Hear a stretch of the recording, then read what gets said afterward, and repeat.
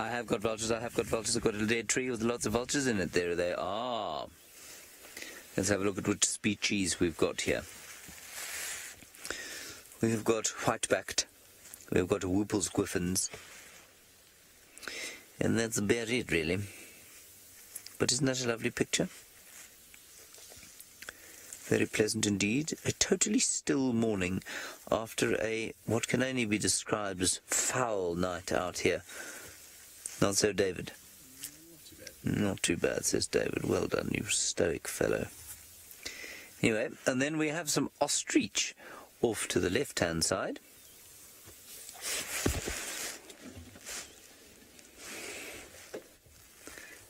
There they are. I initially thought that they must be stumps because they had their heads down.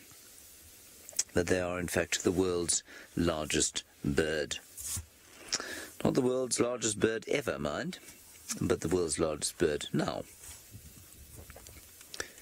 What's also quite interesting is that they can weigh, a big male apparently can weigh up to 100 kilos, so probably those females sit at around 80.